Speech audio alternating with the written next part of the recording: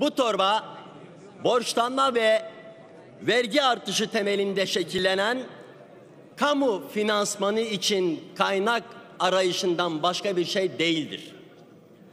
Daha fazla borçlanarak ezilen emekçiye, çiftçiye, esnafa, tüketiciye, emekliye, kobiye daha fazla vergi yükleyerek iktidarı korumaya çalışan bir iktidar var maalesef. Şimdi bu torbada peşkeş çekilen telekomun kurtarılması var mı? Var. Bu torbada yandaş şirketleri ihya etme anlayışı var mı? Var.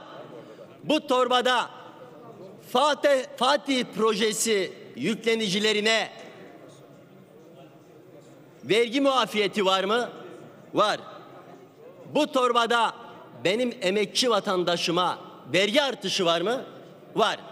Bu torbada dişinden tırnağından arttırdığıyla aldığı orta halli otomobile otomatiğe bağladığınız akaryakıt zamları yüzünden binemeyen emekçi vatandaşıma arttırılmış motorlu taşıtlar vergisi var mı?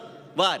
Yani gördüğümüz gibi bu torbada emekçi yok, bu torbada işçi yok, bu torbada memur yok, bu torbada esnaf yok, bu torbada tüketici yok, bu, bu torbada üretici yok, bu torbada bu torbada kamuda çalışan 1 milyon 200 bin taşeron işçisi yok, taşerona kadro yok. Bu torbada bu torbada besici yok, besici yok. Ama ama besicinin yaşam alanı, besicinin yaşam damarı olan meraların ranta açılması var. Evet, bu torbadan 80 milyon vatandaşımıza iş çıkmaz, aş çıkmaz, huzur çıkmaz, refah çıkmaz. Çünkü bu torba dediğiniz gibi rantiye torbasıdır. Bu torba bu tasarı rantiye tasarısıdır. Rantiye düzeni nedir? Rantiye düzeni emeği sınırsız sömürmek ister. Rantiye düzeni rantiye düzeni ucuz işçilik ister. Rantiye düzeni grev ve sözleşme hakkının olmadığı modern kölelik düzeni ister. İşte işte bütün bunları bütün bu talepleri yerine getirmede iktidar ustalaştı, mahirleşti. Ha ustalaştığı başka alanlar var mı? Var.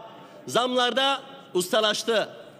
Kandırılmakta ustalaştı. Her terör olayından sonra sadece kınamakla yetinmede ustalaştı. Bir de ey Kılıçdaroğlu demekte de ustalaştı. Ama ben inanıyorum ki, ama ben inanıyorum ki yüce halkımız iktidarın bütün bu uygulamalarını tanımakta da ustalaştı. Ve inanıyorum ki 2019'da yüce milletimiz gerekeni yapacaktır.